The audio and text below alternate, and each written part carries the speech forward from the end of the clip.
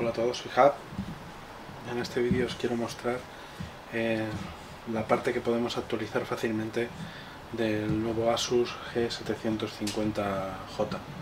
Este es el nuevo portátil gaming de Asus, el más avanzado de la gama, en, en su nueva generación con, con, los procesadores de refresco de Haswell.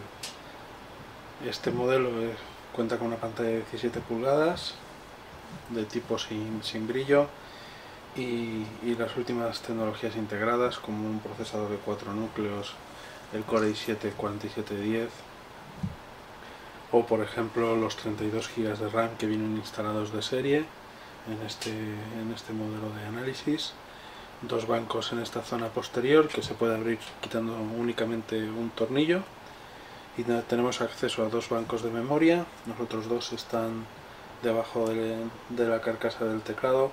En principio estos son los que podemos actualizar sin, sin violar la garantía. Esto que tenemos aquí es el disco mecánico de tipo SATA. Este modelo, si no me equivoco, cuenta con un disco de un terabyte. Y este que veis es el subsistema RAID eh, para el sistema operativo.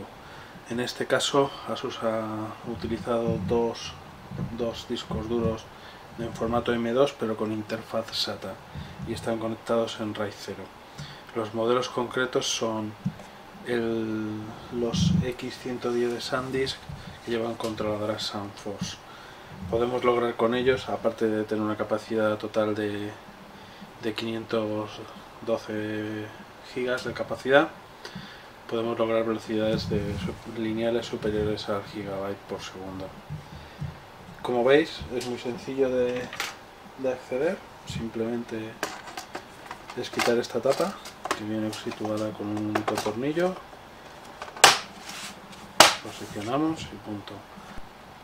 Si abrimos un poco el ángulo de visión podemos ver otras características muy interesantes de este portátil como es su subwoofer de grandes dimensiones que tenemos en esta zona de aquí.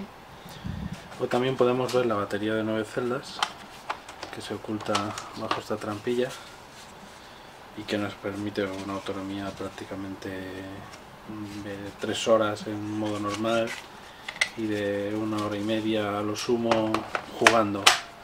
Es más una, una forma de tener un, un SAI instalado en el ordenador que realmente una batería que podamos utilizar en un uso diario con este portátil. También hay que tener en cuenta que este portátil pesa cerca de los 4 kilos es de unas dimensiones muy grandes y también lo son sus prestaciones técnicas. Eh, en el resto de nuestro análisis os mostraremos pruebas de rendimiento, fotos detalladas de, de cada elemento del portátil porque realmente mm, para mí es un buen sustitutivo de un sobremesa, es un ordenador muy potente, con buenas capacidades para ampliar el almacenamiento, un sistema RAID SSD excepcional, la mejor tarjeta gráfica que podemos encontrar por ahora, como es la GTX 880M de Nvidia, una buena pantalla, donde quizás echamos de menos un poquito más de resolución, quizás una pantalla 2-3K, incluso, ¿por qué no?, una pantalla 4K, pero que tenga también una buena capacidad conectiva y sin duda es un, un portátil muy muy potente.